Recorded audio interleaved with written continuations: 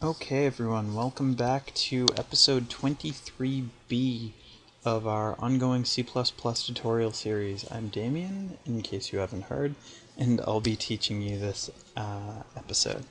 Now, we left off with homework to recreate uh, the calculator that we did with case logic. And now you'll see that I've made a couple of changes to uh, where we left off um, we did prod some last time. I changed the name to docalcs, um, and it's going to take in three variables rather than two, one of type int, and that's totally fine. Despite it returning a type double, you can send it type ints. You can send it whatever you want here. If you want, you can send it boolean or character or strings. Uh, that doesn't really matter. Um, I do need to change this around just a little. Uh, so 4 is going to be divide. Um, what is it? We always use 5 for power, so press 5 to raise a number to a power, and, and L, and press 6 to mod a number. And that's of course take the modulus, uh, which is the remainder of a number.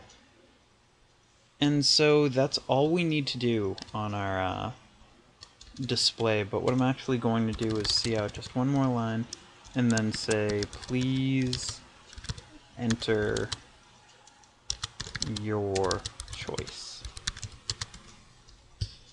Um, I usually put the request for user input on a different line. Um, so that's pretty much going to do it. Um, so display menu is going to lead straight into our cin for choice. Um, we can force the user to do stuff. Again, I'm not going to do that quite yet. Um, we're going to be getting into string stream around less than 30. Um, so just hold tight and we're going to get into real validation around that point. Or well, maybe not real, but pretty real. Um, so we're going to then take in two numbers. So here's what we're going to do. Um, we have choice, which is their choice from the menu. And then we have X, and then we have Y. Um, so here's how we're going to create this sort of a Hmm, do I really want it to return a double? You know what? I'm going to have it be a void. I'm just going to handle everything in there so I don't have to return anything. So there we go. It's going to be a void. So we're just going to call do calcs and we're going to do int. Um, I'm sorry, we actually, we don't type that there. We type in the variables we're going to be sending. So choice x y. And here's how we're going to handle it. So now docalcs has three localized variables. We're going to say int, um, we'll call it menu choice. And then we had these called A and B, and I see no problem with that. We can keep them A and B even though they're X and Y here. Um, if we want, we can keep them X and Y here. It doesn't whatever you name here, it's kept within this scope. It lives and dies within this scope, and it doesn't affect anything up here except for what we return. And since this is a type void, it's not being returned anything, or it's not returning anything anyways. Um, there will be exceptions to that in the near future. So, okay, what we're going to do is we're going to make a quick case. We're going to do switch and we're going to switch based on menu choice. And we're just going to label that end switch.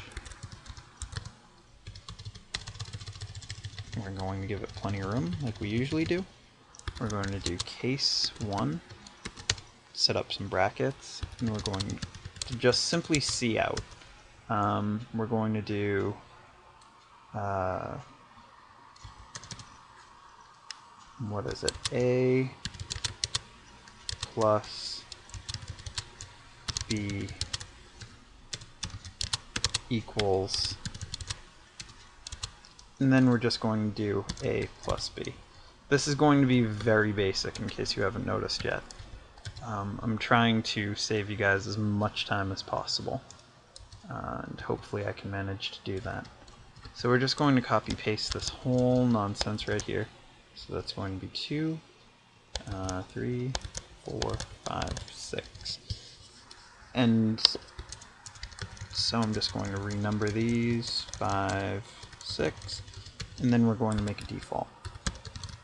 And default is going to be just cout something broke. And I need quotes around that. And in this case, something really didn't break. It's just, that's what happened. Um, and since we code default at the bottom, we don't need a break in it. Just FYI. Uh, all the other ones do need a break, which I always seem to leave out until right before I'm about to compile a program.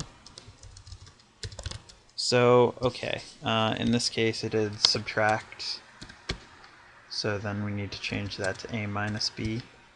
This is multiply, so that needs to get changed to multiply. Uh, this was divide, so that needs to be divide. And this is raised to an exponent, so this actually needs to be changed to pow a comma b.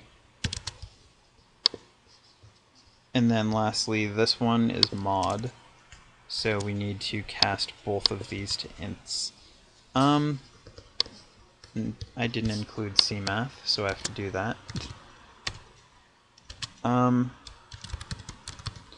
you know, I think um, I'm just going to show you uh, the way to do mod without casting, because there's really no reason for me not to at this point. It's called F mod F, and then you just do what you want. I think it's A comma B, and I think that's the syntax for it. Um, I hope that's right. I haven't used it in quite a long time. Uh, that just means floating point modulus. So, okay. We're going to try this. It might not compile because I haven't used fmodf in 100 years. Oh, and I just need a semicolon there. So, alright, we're going to try that again. Um, and we're going to try... I'm going to try modding right off the bat. I want to see if I remembered the code right. Okay, so we're going to say 0.5 is our number. Um, and then we're going to try 0.3 as the second number. So the remainder should be 0.2. And yeah, that worked out beautifully. Um, the only thing is we need a backslash n there. And uh, you know what, we won't quit. We're going to just try 5, and we're going to try 2 to the 4th power. That should be uh, 16. And that's beautiful. And so yes, we will quit. And that is how you're going to modularize this, and uh, that's what I mean by make it modular. It's it's separated into different modules that have different functions. So now whenever you want this menu to be displayed, you can do it a hundred times throughout your program if you want, and that's fine. And whenever we want a calculation done, we can just put, you know, do calcs right in our code, and then just pass it what we want done. And so I think that, well, hopefully at this point, you guys can see how powerful this has the opportunity of being. Apparently I left some things running before uh, we got started, so I have a whole bunch of stuff open. But uh, hopefully you guys can see how powerful this sort of thing has the capability of being. Um, I want you guys to play around more with this. I'm not going to give you another homework assignment that's really based solely uh, on what we've covered here. Um, but we are going to be covering this for the next few uh, lessons because this is this is very big stuff and it's very important that you understand how these work. Um, I don't really use these too often in my uh, smaller projects though, so I suppose that's kind of a good thing. Um, the kind of important thing though is when you do get into or well if you ever are interested in getting into programming as a career this is everywhere i mean most of the time int main is going to be, you know, just a couple of lines long that's going to call on functions that call on other functions that call on other functions, and it's it's a very big uh, sort of dribble down effect. Well, I hope you guys liked this video. Thank you for spending another uh, 10 minutes with me. I'm Damien, and I'm glad I could help you out.